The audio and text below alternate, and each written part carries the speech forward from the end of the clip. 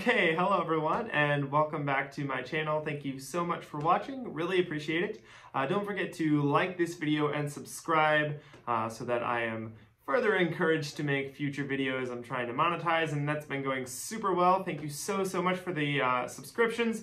Uh, just don't forget to hit that subscribe button if you haven't already. So I've been waiting for quite a while to make this video. This is something I've been looking forward to for a rather long time, I'd say almost two months. And I've been waiting on some things to arrive and have been waiting on some, some obviously some packages to come in and, and some uh, parts of what I'm about to show you today to finally make their way to my doorstep. So today I'm going to be talking about this Planck keyboard. So um, as it actually says here on the back, this is the uh, Massdrop um, OLKB uh, keyboard. So this is the Massdrop Planck and uh, it's super, super cool. So this mechanical keyboard is USB-C uh, is the connection, so super neat. You can use it with a whole bunch of your other cables. Uh, but that's not the only cool thing about this. We're going to be talking about a lot of uh, really interesting facets of this board. First of all, um, it is a 40% keyboard. And so obviously that means that it is missing some of the keys that you might ordinarily expect on a keyboard, even on my Moonlander, which is a 60%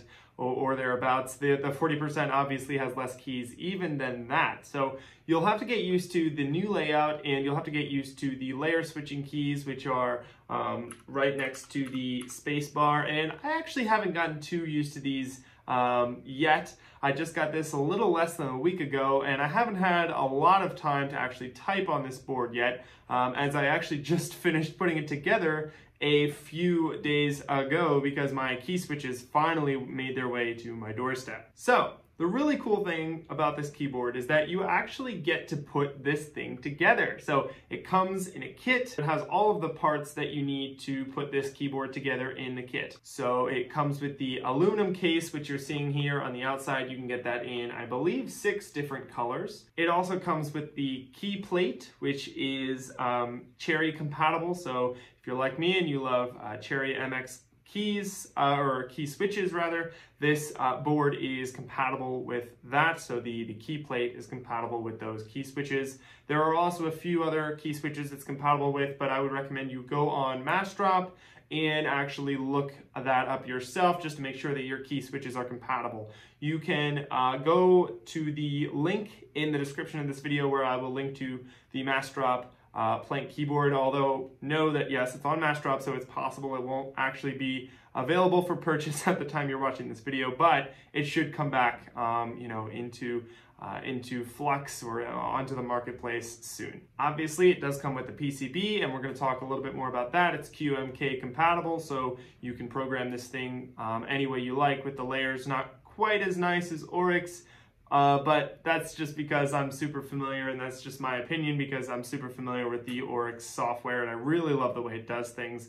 But I'm sure I'll also get used to doing things uh, with the QMK um, firmware and, and, writing all that to the, the Planck board. And it does come with its own Q, uh, I believe they're called Acute uh, keycaps. So that's what you're that's what you're seeing here, and I'll do some um, close-up uh, pans of, of those keycaps so you can check them out. They're, they're super cool. Uh, the printing on, on top of them, um, the, uh, the colors that they give you, all very, very cool, uh, very cool stuff. So let's go through the steps of actually putting this thing together. Um, and it was so much fun for me to build that I figured I would kind of walk you through the process. I know there are a lot of other tutorials out there, but I figured, you know, it wouldn't be a full video with this particular Planck if I didn't walk you through the process of building the kit. So the first step is to connect the spacebar stabilizer um, or stabilizers, depending on your setup or configuration, how you want to set this thing up. Um, but I set it up with a single spacebar right here, and so you'll want to connect that to your PCB. So that's the, that's the first step, is to make sure that that gets connected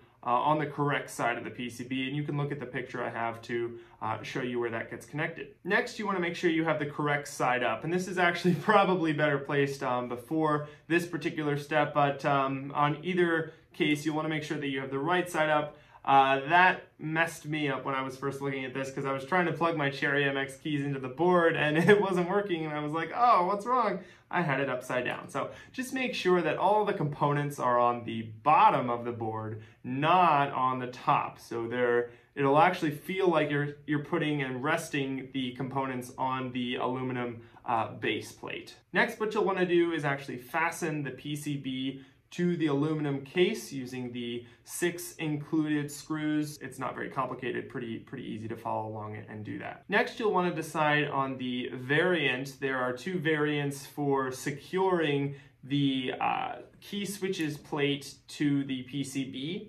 And so you can either go with a secure or a less secure option. I went with the really secure option. Um, and you can see how I how I did that in the uh, picture um, I have up on screen. But also there are directions that come with the board that will walk you through the other way of doing it if you don't want to go through all that extra work.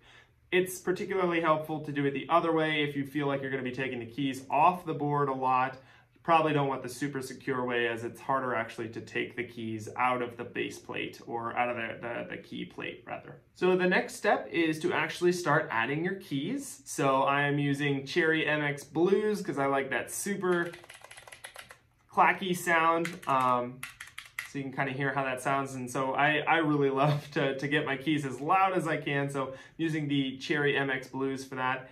And uh, you can obviously use any Cherry compatible keys, and there's also some other ones that you can find if you go to Massdrop and you look up their compatible keys. So you'll just want to connect those all in. The um, space bar keys are a little bit different, and I'm going to show you how to do that in the picture. Not super complicated. There are some other really good tutorials about um, that will help you really get that uh, in the right spot. So if you're confused about where that goes, check out maybe a different tutorial. I might link that in the description of this video, uh, but hopefully it's pretty straightforward. The only thing is that they're going to be flipped, so they're going to be upside down um, from the other uh, orientation of the other keys that you placed um, on any other position on the board. And after your keys are in, obviously the next step is to add in your keycaps. So there is um, a picture of this that you can find online. Um, I will most likely be showing you a picture now, and if you are following along, you can um, follow that uh, picture to get the keys lined up, and that way you have the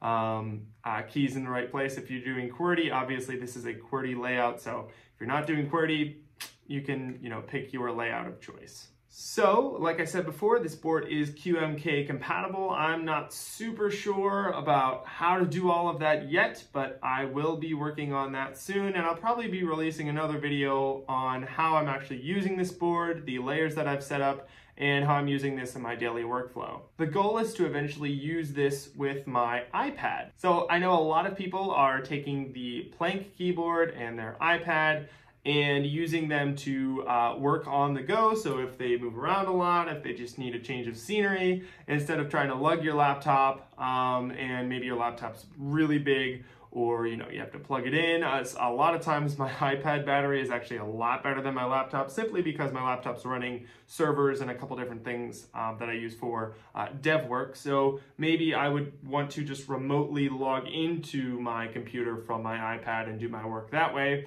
um, that's certainly an option for you to do. So uh, a lot of that stuff I'm planning on doing with the Planck keyboard because I hate the on-screen keyboard of the iPad. Um, but uh, I haven't gotten around to setting that up yet, so I'll probably have a separate video showing you how I've set all of that up. All right, so until then, thank you so, so much for watching. A little bit of a brief introduction to the, the OLKB um, Massdrop Planck keyboard. It's a really, really neat keyboard from what I found so far. I'm actually quite a fan of it. I thought it'd be a little trickier to type on, but it's actually not terrible. And I'm really looking forward to getting the layers set up on that. So if you have suggestions on um, setting up the layers, like how to do that, if you have um, particular layers that you're a fan of, please leave them in the comment section. I'd love to hear from you. Um, looking forward to reading those. And as usual, don't forget to like this video and subscribe to the channel. Check out some of my other videos on the Moonlander keyboard. And also I have a series, very short series, on learning the Haskell language. So if you're interested to see what it looks like to go from uh, programming with JavaScript to programming in Haskell for a little bit, you can check out my struggle in those three videos. And if you're interested, uh, if I get enough likes and enough comments, I might actually continue with that because I have been learning a little bit more Haskell um, and making those videos has certainly kept me accountable to that schedule. So again, thank you very much and I'm looking forward to seeing you in the comment section and we'll see you in the next video.